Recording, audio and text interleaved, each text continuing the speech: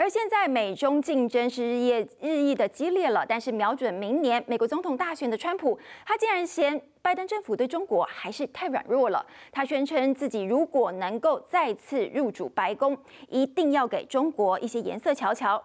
如今 G7 领袖正在极力避免引爆全面性的经济战争，同时也要设法制止中国滥用经济胁迫。川普的言论对于冷静局势是毫无帮助。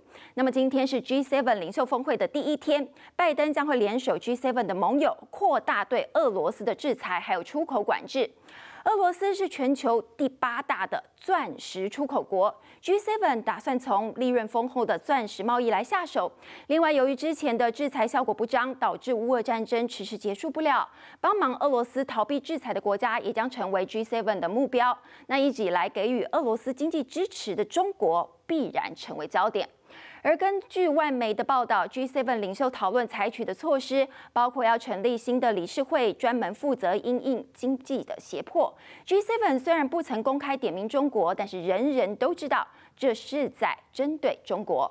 G7 也在讨论限制来自俄罗斯的钻石出口，但不会全面禁运，因为作为全球最大钻石交易中心的比利时认为，除非全球同步禁运，否则只会让更多的俄国钻石流向中东还有印度。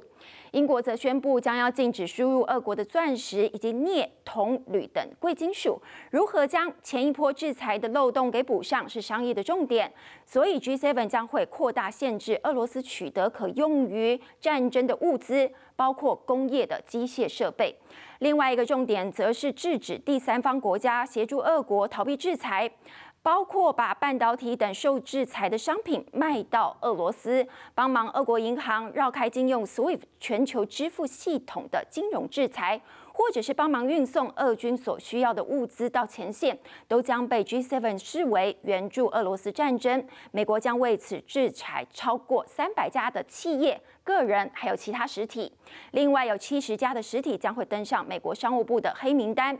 还有不遵守俄国石油限价措施的行为，也将遭到 G7 的打击。